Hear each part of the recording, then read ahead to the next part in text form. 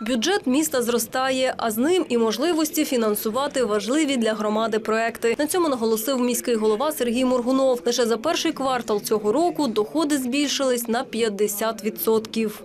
Що дає нам можливість більше направляти ресурсу в першу чергу на розвиток е, соціальної інфраструктури.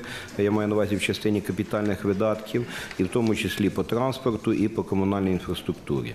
І всі завдання, які е, згідно наших повноважень, в тому числі делегованих, лежать на органах місцевого самоврядування, нам вдається виконувати.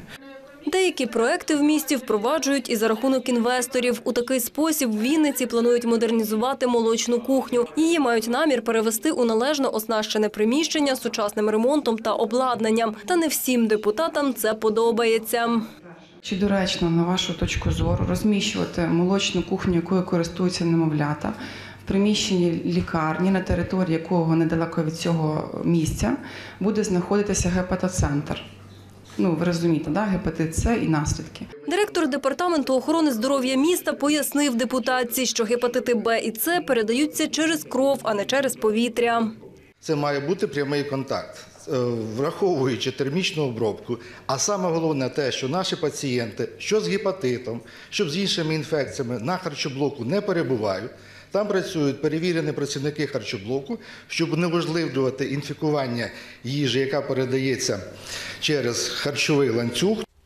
Колеги ж депутати нагадали, що будівля, в якій наразі знаходиться молочна кухня, 1940 року. Тож питання її осучаснення вже давно на часі. І про це депутатці було відомо, бо питання обговорювалося на всіх комісіях міської ради перед сесією. Сьогодні нам потрібно що? Сучасна молочна кухня дійсно з новітнім обладнанням.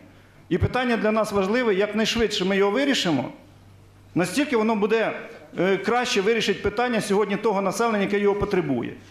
Давайте якось вирішувати все-таки для населення, для громади.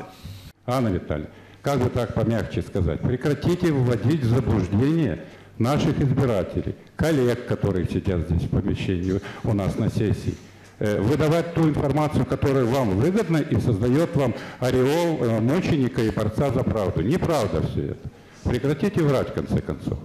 Варіант щодо розміщення молочної кухні на території першої міської лікарні у міській раді вважають логічним, адже поряд знаходяться обласна дитяча лікарня, пологовий будинок, дитяче відділення районної лікарні та два дитячих притулки. Тож продукція буде максимально наближена до її споживача. Оксана Святенко, Володимир Гірявенко, Аркадій Іпатов. Новини телеканал Віта.